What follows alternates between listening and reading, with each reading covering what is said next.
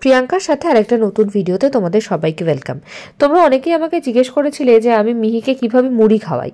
তো আজকে ভাবলাম সেটাই তোমাদের সঙ্গে একটু শেয়ার করি। ওর মুড়িটা শেষ হয়ে গেছিল আর কাকিমা ওর মুড়িটা রেডি করছিল। তো সেটাই তোমাদের সঙ্গে একটু শেয়ার করছি। প্রথমেই যেটা করি সেটা হচ্ছে মুড়িটাকে ভালো করে আগে একটুখানি চেলে নিই, যাতে ওর মধ্যে কোনো রকম কোনো ধান বা কোনো রকম কোনো নোংরা কিছু না থাকে। আর আমি কিন্তু নর্মাল যেটা বালি ভাজা মুড়ি সেটাই নিই।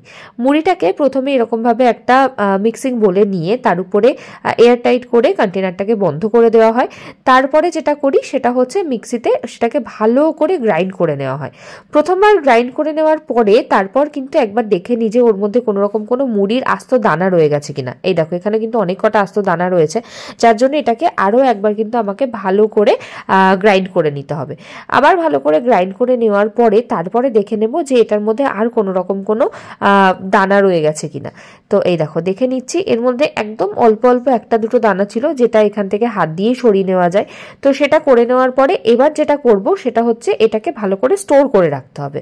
স্টোর করার জন্য আমি এরকম কন্টেনার ইউজ করি। এই কন্টেনারগুলোকে ভালো করে আগে ওয়াশ করে নিই। ওয়াশ করে নেওয়ার পরে একদম পরিষ্কার কাপড় দিয়ে একদম শুকনো করে মুছে নিই। কারণ মুড়ি, নাহলে শুকনো করে না মুছলে লাম্প হয়ে যাবে। তো এরকমভাবে মুছে নিয়ে এটাকে স্টোর করি। মুড়িটাকে এখানে এরকমভাবে স্টোর করে রাখি আমি। আমি এখান থেকে নেব। ঠিক এইরকম এরকম টু টিস্পুন এখানে আমার টু টিস্পুন মুড়ি নেওয়া হয়ে গেছে। এবার এটাকেও চাইলে শুধু জল দিয়ে গুলতে পারো। আমি এর মধ্যে একটু ফর্মুলা মিল্ক অ্যাড করি, কারণ ফর্মুলা মিল্ক একটু দিলে এটা একটু টেস্টি হয়, তাতে একটু খেতে ভালো লাগে। আমি এই হাফ স্কুপ মতন ফর্মুলা মিল্ক এর মধ্যে অ্যাড করে দিলাম। কিছু বলতে হবে আমাকে আমার ডক্টর ন্যান প্রো টু ওটাই দিতে বলেছে, তো আমি ওটাই অ্যাড করি। তোমাদের যেটা বলবে ডক্টর তোমরা সেই ফর্মুলা মিল্কটা এর মধ্যে অ্যাড করতে পারো। এটাকে আগে ভালো করে একটু মিশিয়ে নিয়ে, এবার যেটা করব সেটা হচ্ছে, ওর যে ফোটানো জলটা আছে, ওর ফোটানো জলটা এর মধ্যে আমি ঢেলে দেবো।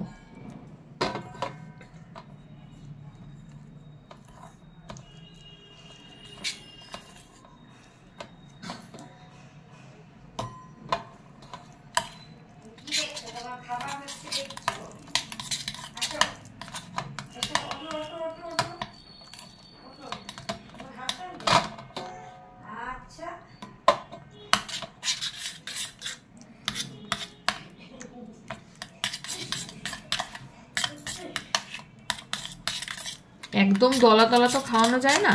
ওটাকে জাস্ট এরকম করে একটা ওই স্মুথ পেস্টের মতন বানিয়ে নিলাম, যাতে ওর খেতে খুব একটা অসুবিধা না হয়। কেউ চাইলে এর থেকেও বেশি নরম করতে পারো। যারা ঝিনুক দিয়ে খাওয়াতে কমফোর্টেবল তারা ঝিনুক দিয়ে খাওয়ানোর জন্য এর থেকে আরও বেশি নরম করে খাওয়াতে পারো। ও যেহেতু ঝিনুক দিয়ে খেতে চায় না, ওকে হয় চামচ দিয়ে বা আঙুল দিয়ে খাওয়াতে হয়। তার জন্য এর থেকে বেশি নরম করলে সেটা আমার ক্ষেত্রে খাওয়াতে অসুবিধা হয়। তাই জন্য আমি এরকমই একটা কনসিস্টেন্সির একটা পেস্ট তৈরি করি।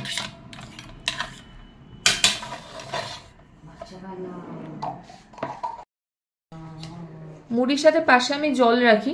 অল্প অল্প করে জল তো অবশ্যই দিতে হয়। চলো রেডি এবার মেখে গিয়ে দিয়ে আসি।